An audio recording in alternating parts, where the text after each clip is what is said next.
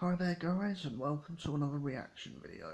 For this video I'm going to be reacting to Lio Rush brings his gift of gab to the Kevin Owens show. So here we go. Elias, thank you for this stellar introduction. You know, I am your biggest fan, I really am. That's why I'm so glad that I get to team with you at Super Showdown against against this this, this dream team, this bona fide super team of, of Bobby Lashley, pictured right there. That is a thing of beauty. man. Not bad. And his partner in Elias, I, I don't think we can undersell this. Listen, his partner, the the the most decorated champion, the most respected man in the locker room, arguably the greatest WWE superstar today, and the man that I beat on my very first night here, John Cena. Well, you know, that's uh, that's at Super Showdown. You and I, we need to talk about something that happened last week with uh, Bobby Lashley and and one Lio Rush. Kev, I'll be honest, I don't even want to look at these people, let alone talk to them. So, Uh, that's that's fine. I'll, I'll- do the talking. You know, you know, I don't know much about Lio Rush. I know he's he's Bobby Lashley's hype man. But besides that, I know that last week he he went on commentary over there and started talking trash about me, attacking me, unprovoked. Well, you know, Lio's lucky that I'm a forgiving man. He's also lucky that I'm a very generous man. Because I've decided I want to get to know him a little better. And for that, I've decided to give him an opportunity to step onto the grandest stage there is my stage.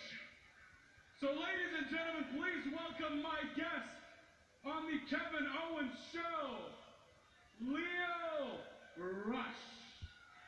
Me and Bobby made you two look like fools last week. And we all know, we all know that you're out here because you're wanting to make up for those failures. Listen, I'm the big man type man. I'm the 23 year old piece of gold. And I know that I might be young, but I'm not naive. So let me tell you what I'm going to do. I'm going to stay right up here. Lio, listen, I, I'm sure you've got concerns, okay, but let me tell you, we got some special seating for you. We took care of it. Kev, grab the grab the thing real quick.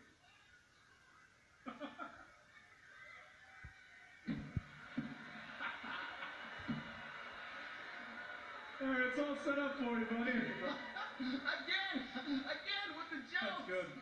He's good with the jokes again. But you know what? Don't tell them all to me. I know somebody else who would love to hear them.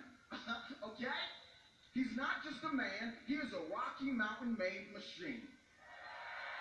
He looks like money, he smells like money because he is money. He is the heavyweight that is back to dominate, and he just so happens to have a rematch coming up next with you. So allow me to introduce my man in Denver, Colorado zone, Bobby Lashley. What a response for the Dominator. What an introduction by the hype man.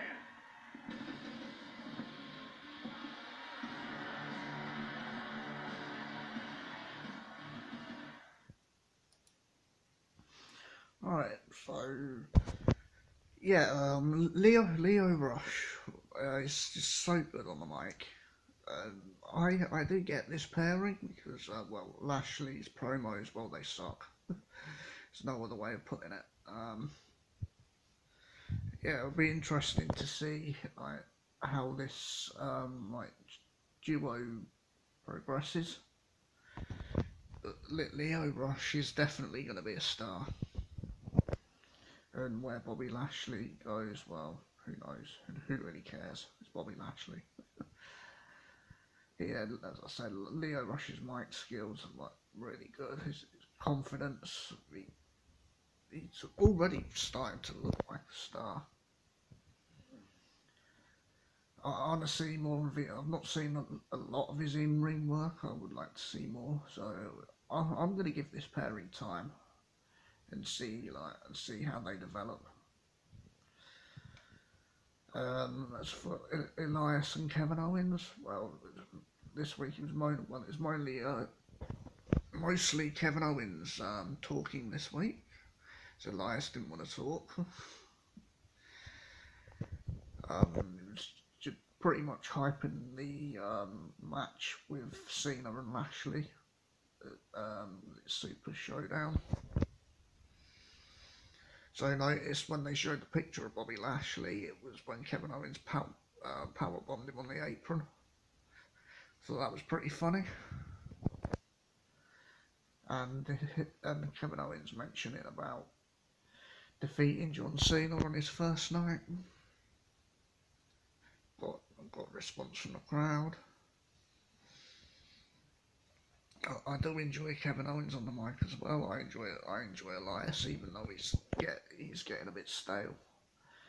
It's not quite as um, like hot with the fans as he was a few months ago.